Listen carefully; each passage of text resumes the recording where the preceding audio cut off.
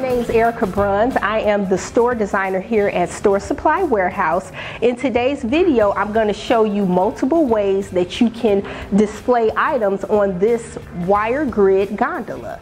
The wire grid gondola, the reason why I'm using this is because it allows a lot of versatility. You can use these in retail spaces, craft shows, trade shows, and it's easy to assemble. As you can see, it is made up of two by five wire grid panels and they're connected here to the base. And we also have casters here to allow you to move it throughout the space. And the wheels do lock if you're concerned about that. And it also has two by five panels on the end caps as well for you to merchandise more items and it is double sided. So what I'm going to do is show you different variations on how to merchandise this to show you different options and how you can play around and have fun with this type of fixture.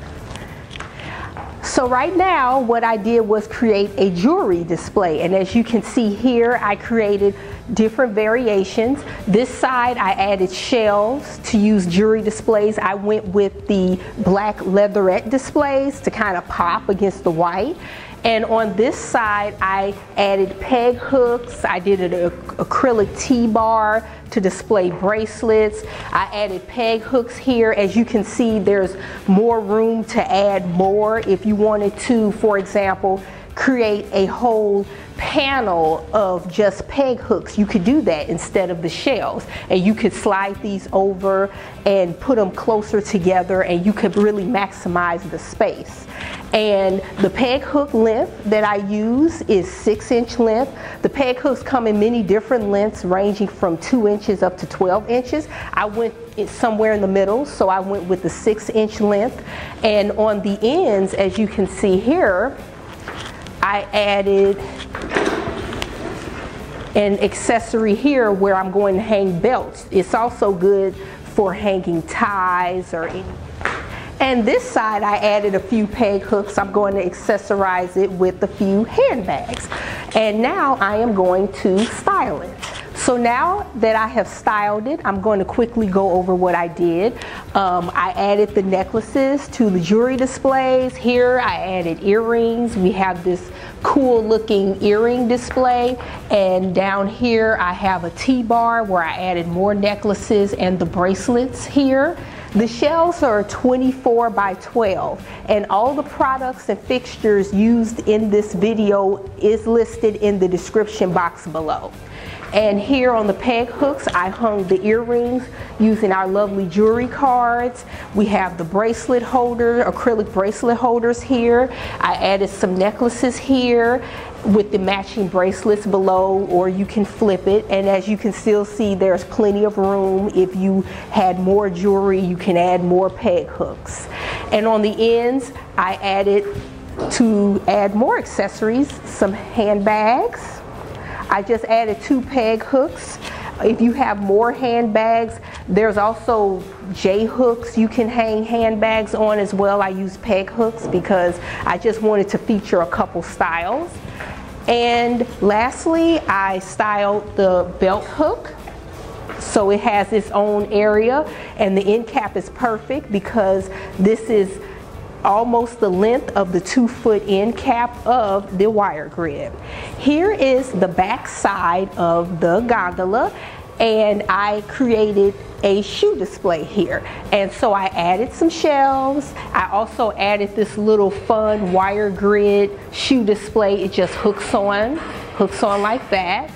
And these shelves the type of shelf bracket that you need, you need the 12 inch shelf brackets for the wire grid. Even though the shelf is 13 inches, it's important that you get the 12 inch so it curves over the shelf bracket. These are called bull nose shelves. When adding 48 inch shelves to the wire gondola, make sure that you use three 12 inch shelf brackets. This help evens out the weight so the shelves don't fold or bow in the middle.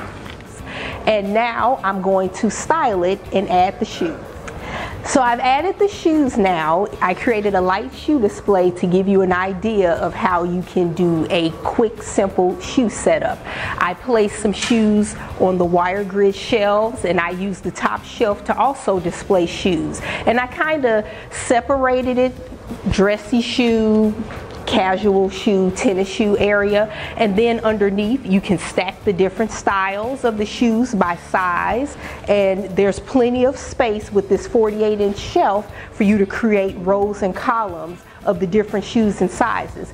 And let's say, for example, if you decide, well, I want to stack a different style of shoe here or even here, all you can have to do, this is an option. If you want to display the shoe, you can also just put that on top of the shoe to show hey, this is a new style and the sizes available are, is below. For my next setup, I am doing a candy display. I added these downslope shelves for wire grid, and as you can see that they are wire shelves. And I have a row, five rows of 48 inch wire shelves and five rows of the 24 inch downslope shelves.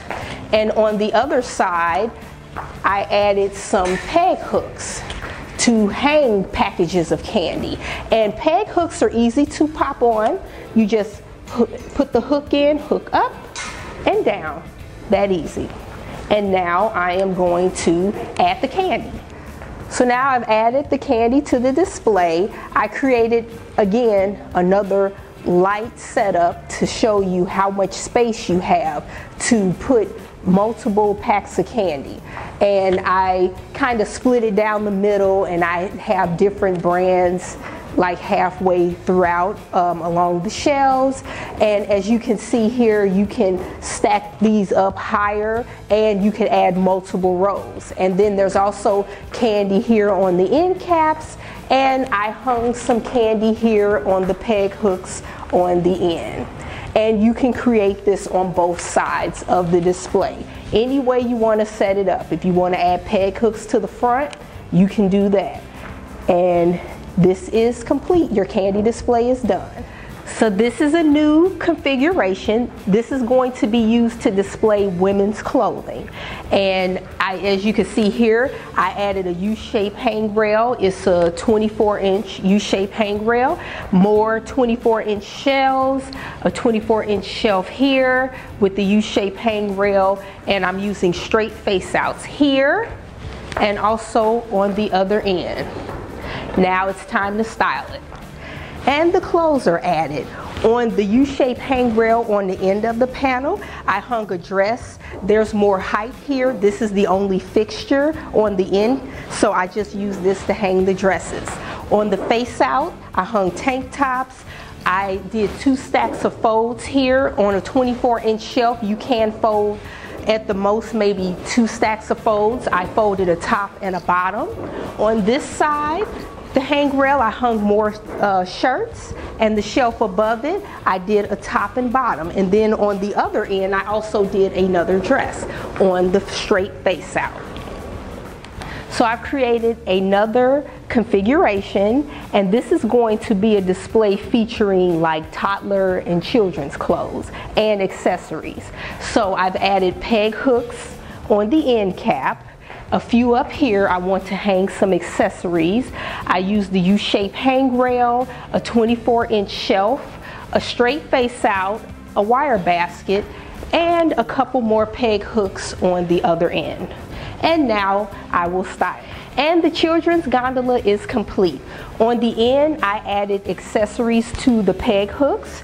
Um, I put the longer accessories on the bottom and hung the short ones at the top. You can do it any way you want. There's plenty of space here to add additional peg hooks. You can get a lot of product just right here. And here on the face out, I created an outfit. Um, there's plenty of space behind the face out to hang the items that are featured here in the front. And I added a little basket here and I just folded up some jeans, but you can put anything you want in that basket. I also created another accessory uh, area here at the top with the few peg hooks here. And I did a shelf just to cap off the hangrail. And on the U-shaped hangrail I hung some more um, clothing here like the t-shirts and dresses. And then we have the jeans to go along with the t-shirts and on the end I just hung two bags for example like a diaper bag you can just hang those accessories on the end cap to separate from the clothing.